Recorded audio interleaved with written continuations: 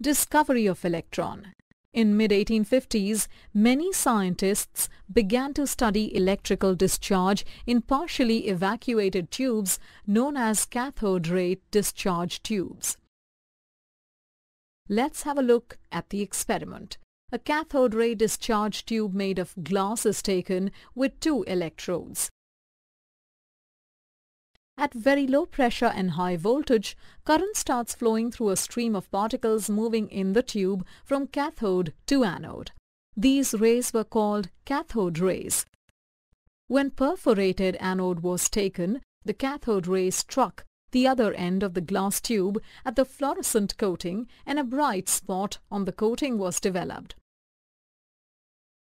The results of this experiment are briefed as Cathode rays consist of negatively charged electrons.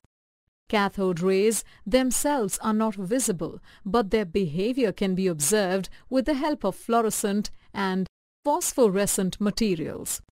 In the absence of electrical or magnetic field, the cathode rays travel in straight lines. In the presence of electrical or magnetic field, the behavior of cathode rays is similar to that shown by the electrons.